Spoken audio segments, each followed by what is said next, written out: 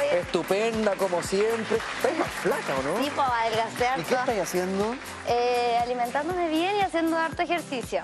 Ya. ¿Estás como te volviste fanática de los gimnasios? No, no, no, no. No voy ¿Ah, al no? gimnasio, me da lata. Ay, ¿cómo así? Pura abdominal. ¿En serio? ¿Y te levantas en la mañana y te- No, tampoco. Ah, de repente. No, cuando me dan ganas, durante el día igual tengo que hacer todos los días. Ya. Pero hoy me puedo acomodar. Pero como quiera, pues. Eh, pero trato de hacer por lo menos una hora de ejercicio. Mira, está ahí harto, harto más placa. Angie Alvarado MB, ahí está saliendo Angie Alvarado MB, es el, el hashtag, y ahí estamos viendo algunas fotos de su Instagram. Oh, está ahí, pero con las sendas calugas, pues. ¿Y eso cómo surgió como una cuestión eh, de, de- de salud o de estética? No, lo que pasa es que estaba un poco pasada de mi peso ¿Ya? Y empecé a comer mejor. Coincidió con que un amigo se operó y por su alimentación yo también bajé de peso y me gustó verme flaca. Como que lo apañaste en la dieta, en el Claro. fondo. Hagámoslo juntos, esto yo te Sí, cuido. obvio. Y me gustó verme flaca y después marcaba mejor. Bueno, oye Angie, has estado en un año prácticamente de, de no farándula, de no aparecer en los programas, sin tele. ¿Cómo lo has pasado? Siempre se dice que la tele se echa de menos. ¿La has echado de menos y has estado tranquila? He estado súper tranquila. He hecho lo que he querido. ¿Ya? Me he dedicado a hacer lo que... Eh, me he dedicado a hacer lo que he querido, a viajar, a conocer. Sí, he estado tranquila, la verdad. ¿Qué te aburrió? ¿Por qué Mm. decidiste cambiar tu estilo de vida? Porque no me la podía, era muy chica. ¿Sí? ¿Tú sentiste que te pasó la cuenta? Sí, sí, yo no tengo por echar. ¿A qué edad partiste De eso tú como me- firme en la tele? A los 19 y al tiro un reality. Ah, fuerte. Exposición mediática pero Sí, intensa. cinco meses encerrada. Imagínate que cuando yo, la primera noche que me quedé en pelotón, eh, era la primera vez que me quedaba fuera de mi casa. ¿En serio? Así, entonces fue un cambio súper brusco. O sea, no sabía ni armar el bolso. No, ¿Y cómo lo pasaste ahí? De haber sido heavy estar fuera sí, de la fue súper fuerte, pero lo pasé increíble, conocí gente maravillosa y fue una experiencia fuerte igual. ¿Cómo lo tomaste. Angie? Porque eh, a los 19 años ingresar a un mundo como el de la televisión, con una exposición también como la de los reality, debe ser potente, que te cambie la vida yendo al supermercado de un día para otro, es fuerte. Eso me pasó, sí, fue súper fuerte. Nunca me esperé que, que iba a ser... Bueno, no tenía idea, po. no cachaba nada, además que no era figura pública ni nada. Fue, entré como casi en N. Mm. Primero era el, el nexo con mi mamá, ella la quería meter. Claro. Y mi mamá no, no quiso y optaron por mí, lo pasé bien. Aprendí harto, engordé mucho. Eso pasa en los reality, parece. ocho, ocho kilos engordé. ¿Tu mamá Pero- a una, una vez? al ¿A qué? ¿O no? ¿A qué? ¿Tu mamá entró a retarte un día, a increparte al reality? No. ¿Cómo fue? No, ella entró a una visita. Ya. Ah, normal. Una, una entrevista que hacía el Rafa y siempre había sorpresa. Y estaba mi mamá así como atrás, escondida y todo. Ah, pero, no es que haya llegado a cantarte las claritas. No, no, no, yo no tuve contacto con mi mamá solo esa vez. Pero ella te pidió que dejaras de mandarte cagar. No, eso me lo pidió en persona. Ah. Fuera del Ah, reality. Ya, ya. Sí, sí, po. Sí, ya estaba mandándome muchas cagas. Entonces ya había el momento que mi mamá dijo, ya, córtala. ¿Y cómo te lo dice la Anita? Pam, pam, vino, vino, mi imagino. Ahora me lo dicen, eh, es que ya estoy más grande. po. Antes era mi mamá eh, y vivía con ella. Entonces, sí era jodida.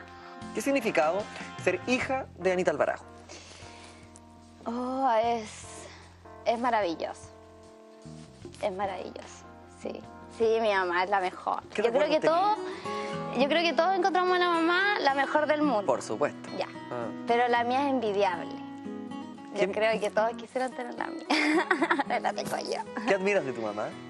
Todo, todo, todo, todo, todo, todo. Desde cómo es como mamá hasta cómo es como como persona, una excelente persona. ¿Qué recuerdos se te vienen así al tiro a la mente cuando viajamos en el tiempo, cuando estás en tu infancia eh, con tu mamá? Esa sensación que uno siempre tiene. A mí me pasó algo súper extraño porque mi mamá se fue un par de años. ¿Mm? Pero cuando ella estaba lejos yo tenía su olor. Yo, yo sentía el, el olor de ella. Entonces, una conexión súper fuerte con mi mamá tenemos.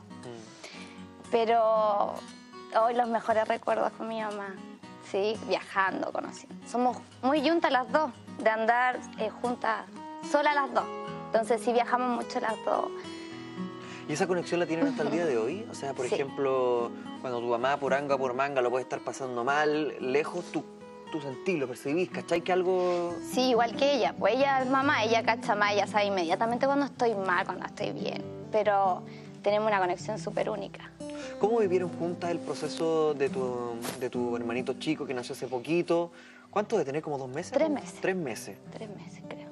Y, meses. y- y que en un momento estuvo complicado. Sí, fue un, un- un periodo súper doloroso como familia. Sí, Nunca había pasado. Claro. Entonces fue, fue súper duro el, el momento, pero gracias a Dios ya salió todo bien y harta oración y harta fe. ¿Cómo se ayudaron ahí? Yo creo que en esos momentos no tenéis cómo ayudar. No, no, no depende de uno. Claro, uno tiene que estar nomás. Ah. Nada, para bien o mal, uno tiene que estar.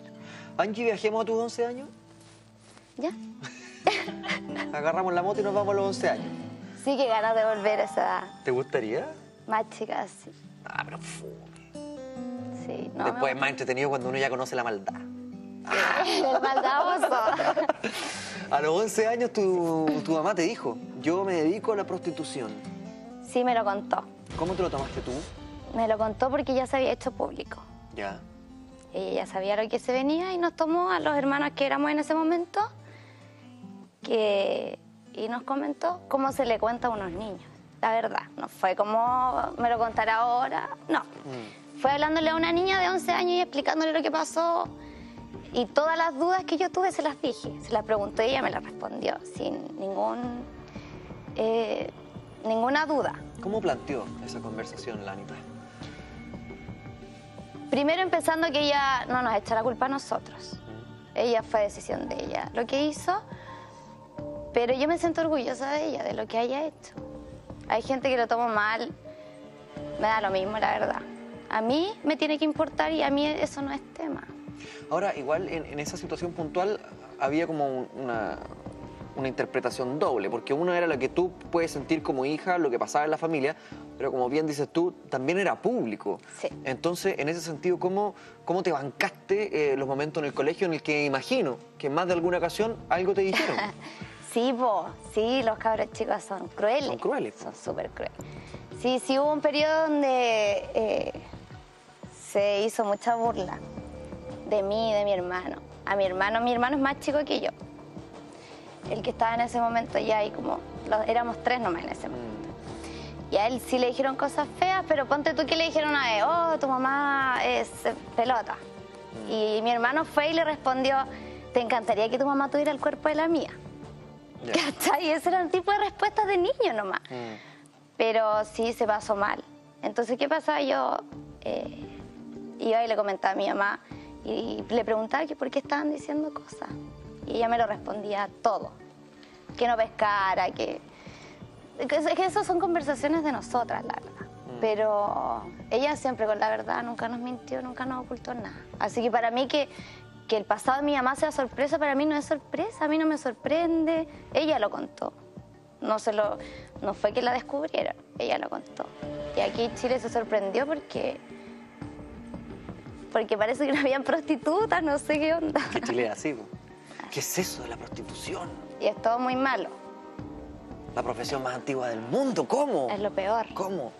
Oye, eh, quiero Ah, preguntarte por, por tu ingreso a la televisión, también bajo el alero de la Anita, que es un personaje súper potente, eh, no solamente en su actitud, sino también dentro de, de lo que significa el, el medio de la tele, de la farándula.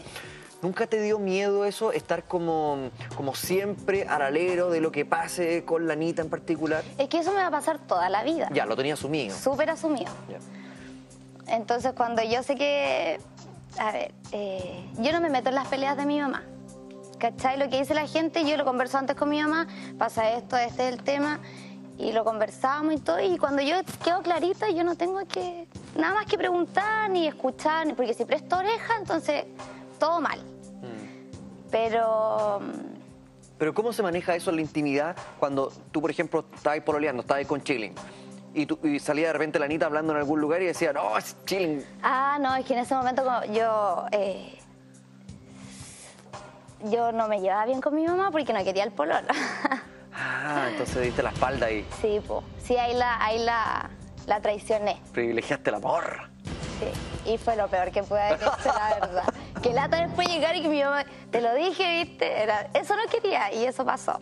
No, es lo peor cuando los papás te dicen eso. Sí, porque yo no quería volver a la casa. Te lo dije, te advertí. En su mejor momento físico reaparece Angie Alvarado. Estaba hace mucho tiempo retirada de la televisión, no quería cosas con la farándula, no quería nada con la televisión. ¿Fue un retiro voluntario o más bien la televisión la retiró a ella, Ale? Mm. En el caso de Angie Alvarado, fíjate que fue un retiro voluntario. Ella lo hizo porque en realidad como que ciertas cosas, ella aquí como que ya más madura, ¿no es cierto?